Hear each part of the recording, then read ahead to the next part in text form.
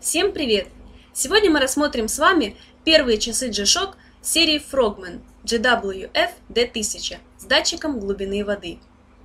16 марта 2016 года компания Casio анонсировала выпуск новых часов для дайверов Frogman GWF D1000, новой модели в серии ударопрочных часов G-Shock.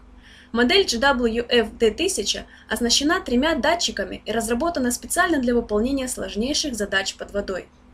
Часы для профессиональных дайверов, выполняющих сложнейшие подводные задачи с показателями атмосферного давления, температуры и магнитными датчиками.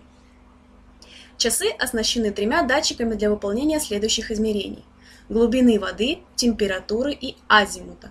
Азимут – угол между направлением на север, в южном полушарии – на юг, и направлением на какой-либо удаленный предмет. Часы оснащены солнечной батареей. Индикаторы ее заряда можно наблюдать на циферблате часов. На картинке буква H – High – максимальный уровень заряда.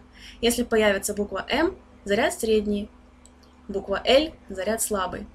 Зарядить можно прямым солнечным светом за 5 минут, через стекло в ясную погоду за 24 минуты, через стекло в пасмурную погоду за 48 минут, лампа дневного света за 8 часов – Заряда хватает примерно на 5-6 месяцев работы в полной темноте.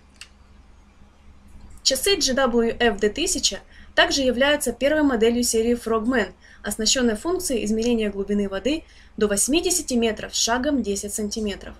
Температурный датчик измеряет температуру воды с шагом 0,1 градусов Цельсия, а компас с автоматической горизонтальной компенсации показывает азимут шагом в 1 градус, даже в случае наклона. Эти датчики непрерывно отображают только актуальные значения и просто неоценимы во время подводных поисковых и спасательных операций. В часах также предусмотрен ряд профессиональных функций, включая график приливов и отливов, журнал фиксации погружения, время погружения, максимальная глубина воды, самая низкая температура воды – и звуковое уведомление в случае превышения скорости поднятия на поверхность. В часах G-Shock Frogman GWF D1000 используется сапфировое стекло, что делает эту модель еще более привлекательной по сравнению со своими предшественниками. Сапфировое стекло имеет твердость 2300 по шкале Викерса, что превышает твердость обычного минерального стекла примерно раз в 5. И, конечно, сапфировое стекло сложно поцарапать в обычных условиях. Кроме всего прочего, часы оснащены функцией радиоконтроля, то есть способны принимать сигнал точного времени от имеющихся в мире шести вышек. В Японии две вышки, в Германии, Великобритании, США и Китае по одной вышке. Принимать сигнал можно принудительно в ручном режиме и автоматически, примерно в период с 0 часов до 5 утра.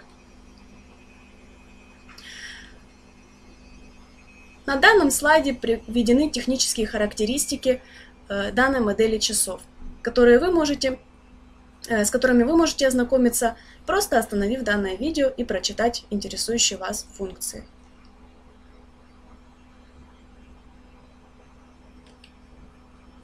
Всем спасибо за внимание, здоровья, мира и добра. Будьте счастливы!